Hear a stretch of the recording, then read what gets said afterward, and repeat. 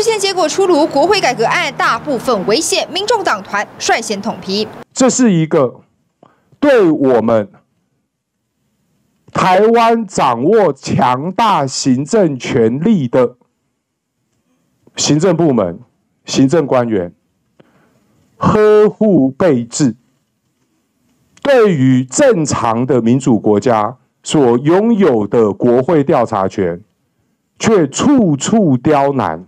半小时记者会，黄国昌批评事件理由逻辑错误，深表遗憾。至于总统无义务赴立院国情报告，铺好了康庄大道了。哦啊，赖清德也不用担心违反他在选总统的时候的承诺。哦，在我们的大法官眼中，唯一和宪的状态就是总统来爱说什么就说什么，立法院不能过问。这个是台湾人要的民主法治吗？而针对藐视国会罪的反质询争议，大法官认为官员用疑问句 OK 没问题的解释呢？哈，是真的大大的啊壮大官员呐，他未来接受询答的时候，他还是可以啊，对于他不想回答的问题，他可以反问我们的立法委员，他可以提出疑问。就大法官你自己就违宪了嘛？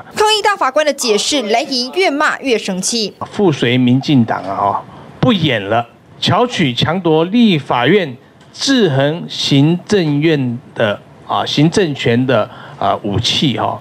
七位大法官将在月底卸任。面对这样的视线结果，接下来的大法官仍是同意全案。民众党喊出实质审查，但势必免不了蓝绿白之间的攻防。TVB 新闻何家刘听 A 小素台报道。